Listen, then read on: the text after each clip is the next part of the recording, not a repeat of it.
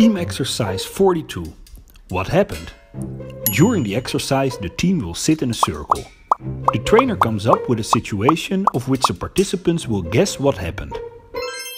It can be a fun situation, but to excite the participants the best is to give them a thrilling situation. This way it seems like a thriller, in which the participants are detectives that have to solve the crime and figure out what happened. You come up with the situation. In the forest on the foot of a mountain lies a dead man with spread around him bags with sand in it. What happened?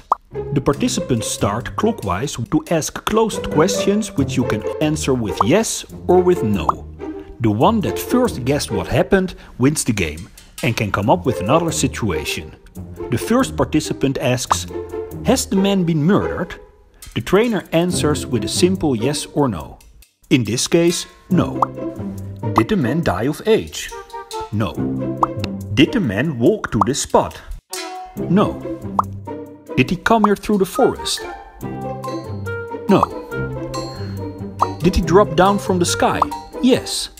Did he fall off the mountain? No. From an airplane? No. From the universe? No. From a hot air balloon? Yes. Did the bags of sand cause his death? No. Did the bags of sand have something to do with the man's death? Yes. Were there more people in the hot air balloon? Yes. Did someone push the man? No. Did he jump voluntarily? Yes.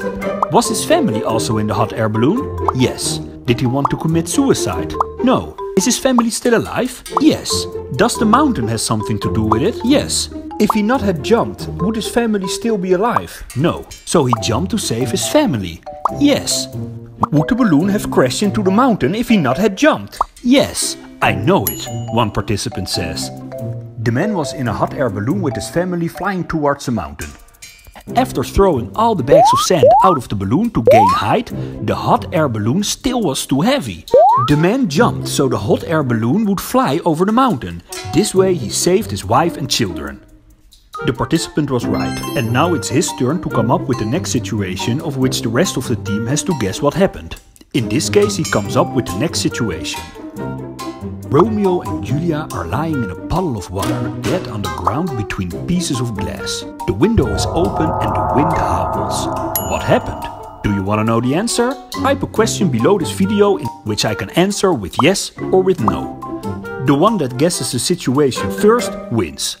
The trainer guides the team and applies variations. What kind of variations you can read below this video on YouTube. And haven't you subscribed yet? Click on the subscribe button to stay tuned for a new video each Sunday on youtube.com slash teamexercises to improve cooperation and communication.